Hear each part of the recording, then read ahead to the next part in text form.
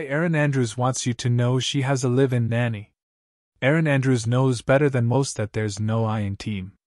Which is why the NFL broadcaster wants to highlight everyone on her household roster, including her nanny. Because when the 46 year old was preparing to return to the sidelines after she and husband Jarret Stoll, Jarret Stoll welcomed son Mack last June, she remembers telling her nanny how bad she felt talking about how she quote unquote had it all, when her support system was a key piece of the puzzle which is when her nanny nudged her to mention the whole parenting squad. So many people don't talk about it. Andrews noted in an exclusive interview with E! News, so it gives out this weird picture that I got it all. I can deal with a 10 month old, I can deal with a husband, I can do it. But the reality, says the sportscaster, is that sometimes she and the former Los Angeles Kings center, 41, fumble the ball. I look over at my dog and I'm like, Did you eat? She explained of her the struggle is real moments.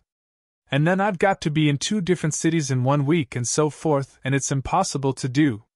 So, yes, she's got a strong team doing some blocking for her. People have all sorts of help, whether it's daycare, a church group, their mom, a relative. Andrews explained. So I think it is really important to just be like, I don't have it all together, I feel like honesty is the best way, and why try to candy coat and make it look so simple? When we had him, I was like, our life isn't going to change, we have somebody living with us, we got it. Andrews said of attempting to balance a newborn with her travel schedule and Stoll's gig working in player development with the Kings. And no. Though she has discovered there's an upside to being honest about her perceived shortcomings. After speaking on her and friend Charissa Thompson's Calm Down podcast about parenting Mack and how I really struggle when he's throwing a fit in the morning that he doesn't want to eat his food, said Andrews, a girlfriend suggested she go and read the comments on the Instagram post. And it was so many moms that were just like, stop. Don't be so hard. We don't have it figured out and our kids are 17 and 18 years old, recounted the Maine native. So it turns out being honest and not putting a filter over things really resonates with people. Among her unvarnished takes, the mom guilt is real. Last year on the field was really, really hard for me because I felt like I was missing things. Noted Andrews, who still laments not being able to join her boys at the King's holiday party. Now I'm hearing from girlfriends, it's only going to get worse, because then they're going to start to recognize you're leaving.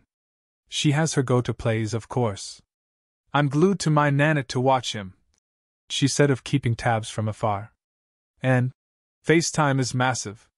He gets so excited about a FaceTime ring. He knows exactly what it is. That doesn't always dull the ache of, say, spending her first Mother's Day away from her little guy because she had to catch a 6 a.m. flight to New York City to do press for Fox Sports. I expect my bosses to take me out for dinner that night, she joked. No pressure, guys. And she knows the other men will come through with some sweet gestures. Mack's a really good online shopper. She cracked. He crushed Christmas last year, even though he was, like, six months old. He killed it. And in her toughest moments, she reminds herself that Mack gets to see his mom crush it at work. Thanks to the Taylor Swift effect, ensuring hordes of new football fans are enchanted with the sport. You do have a lot of eyes on you, including my 10 month old son, noted Andrews. And as much as I feel bad about maybe I'm not there for every little thing, it's pretty cool that he'll know that his mom works her tail off. Because much like the players selected in the last rounds of the draft, I want to prove I belong, said Andrews. Even after suiting up for more than two decades, I always think to myself, there's always somebody right around the corner that can come and replace me. So I work really, really hard. That work hard, play hard mentality means she's more than a little exhausted. We're experiencing our first runny nose, so I'm like, oh my god, is it an ear infection? She admitted of recent sleepless nights. But the winds definitely make up for any lost yardage.